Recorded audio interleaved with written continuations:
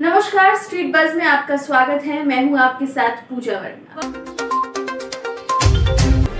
राजधानी पटना में लॉकडाउन के बीच आगलगी की भीषण घटना सामने आई। घटना पटना के कोतवाली थाना क्षेत्र के न्यू मार्केट स्थित दुकान का, जहाँ एक लाठी बेचने वाले दुकान में आग लग गई। धीरे धीरे आग ने विकराल रूप इख्तियार करते हुए पास के कई दुकानों को अपनी जद में ले लिया। घटना के विषय में बताया जा रहा है कि आग लगी की दुकान के बाद, बैग की दुकान में भी आग लग गई, जिसके बाद लाखों की संपत्ति को जलकर खाक हो गई। वहीं मौके पर पहुँची तीन दमकल की गाड़ियों ने आग को बुझाने की कवायद शुरू की, जिसके बाद कड़ी मुशक्कत के बाद आग पर काबू पाया गया।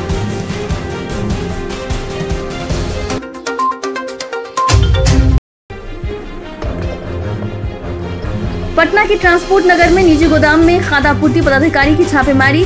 निजी गोदाम में सरकारी अनाज होने के शक में गोदाम को किया गया था सील। पटना सिटी से बड़ी खबर सामने आई, जहाँ आगम कुआ थाना क्षेत्र के ट्रांसपोर्ट नगर में खाद आपूर्ति के पदाधिकारियों ने एक निजी गोदाम में छापेमारी की। पदाधिकारी मनोज कुमार और कुमारी अंजू को गुप्त सूचना मिली थी कि ट्रांसपोर्ट नगर के एक निजी गोदाम में राज्य खाद्य निगम की जो सरकारी अनाज होती है, वे एक निजी गोदाम में स्टॉक किया जा रहा है। जब पदाधिकारी पहुँचे तो गोदाम का ताला बंद पाया, लेकिन उस गोदाम के बाहर चावल गिरा हुआ पाया, हालाँकि दोनों पदाधिकारी ने उक्त गोदाम को सील कर दिया है।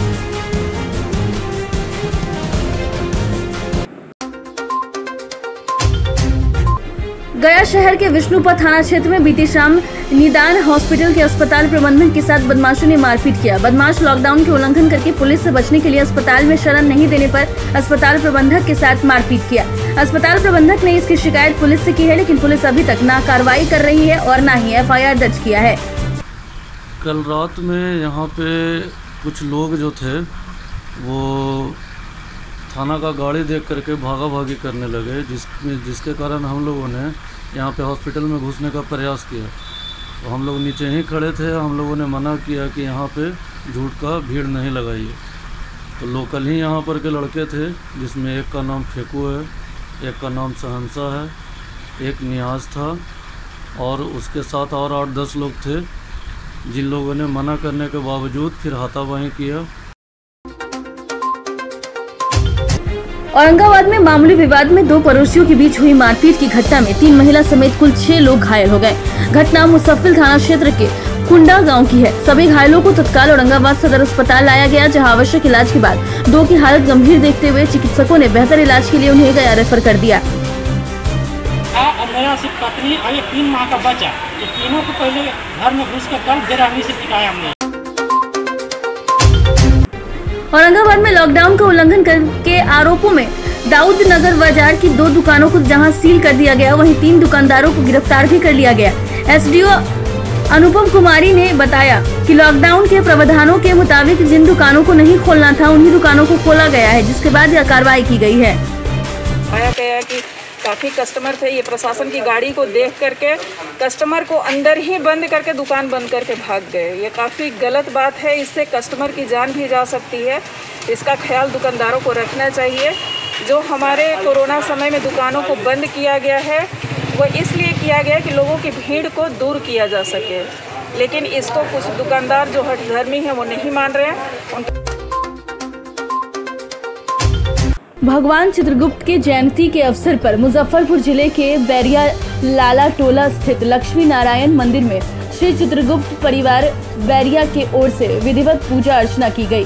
शास्त्रों के अनुसार भगवान चित्रगुप्त की उत्पत्ति वैशाख माह के शुक्ल पक्ष की सप्तमी तिथि को हुई थी चित्रगुप्त महाराज कायस लोगों के इष्ट देव माने जाते हैं। इसलिए उनकी जयंती को खास तौर पर कायस समाज में ज़्यादा प्रचलित है। कोरोना के कारण इस साल भी चित्रगुप्त जयंती बेहद सादगीपूर्ण ढंग से मनाई गई। खास बात ये रही कि चित्रगुप्त भगवान की पूजा बिहार राज्य में पहली बार मुजफ्फरपुर के बैरिया में किया गया। ये बैसाख माह में हमारे चित्रगुप्त महाराज सप्तमी के रोज ये प्रकट हुए थे। आज ही के दिन प्रकटीकरण हुआ मतलब ब्रह्मा जी के पूरे संपूर्ण शरीर से इनका प्रकट, जो हुए इसी तिथि को हुए थे। इसीलिए ये लोग बहुत लोग जहानाबाद में कोरोना महामारी के संक्रमण को रोकने के लिए सरकार द्वारा लगाए गए लॉकडाउन को लेकर पुलिस ने काफ़ी सख्त कदम उठाया है। पुलिस अधीक्षक दीपक रंजन के निर्देशानुसार नगर थाना प्रभारी अपने दलबल के साथ अरवल, मोड़, फिदा हुसैन मोड़ और कारगिल चौक, राजा बाज़ार स्टेशन, भागीरथ, बीघा मल्हचक मोड़, काको के पास सभी जगह सघन तलाशी अभियान चलाए, जिसमें सरकार के द्वारा दिए गए गाइडलाइंस का अनुपालन नहीं करने वालों के साथ पुलिस काफ़ी सख्ती से पेश हुई, तथा उनको सरकारी गाइडलाइन का पाठ भी पढ़ाया गया।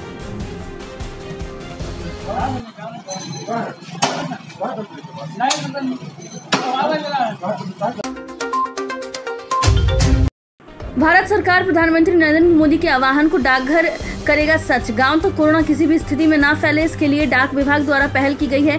Anil Kumar, chief postmaster general ने बुधवार को पार नवादा डाकघर और प्रधान डाकघर से 10 डाकिया रथ की रवानगी की है। शहर क्षेत्र एवं गाँव के क्षेत्र में लोगों को जागरूक किया जाएगा। जगह जगह पर बैनर होर्डिंग के द्वारा कोरोना से कैसे बचा जाए, जागरूक किया जाएगा। तो क्या क्या उपाय करें और जो हमारे चिकित्सकों पर अतिरिक्त लोड है, उसे डाक विभाग कैसे काम कर सकता है? इलाके में जाके समझाना है मास्क लगाने के लिए सैनिटाइज करने के लिए कोरोना के बारे में बताना है कि आप किस तरह से रहना है सैनिटाइज करते रहना है मास्क लगाना है। जागरूकता के लिए? जी जागरूकता कौन सा पंचायत के आप हैं? हम हैं यहाँ पार नवादा बुंदेलखंड पोस्ट ऑफ़िस भदौनी का। भदौनी हो गया इधर गया रोड। पुलिस? कुंदन कुमार।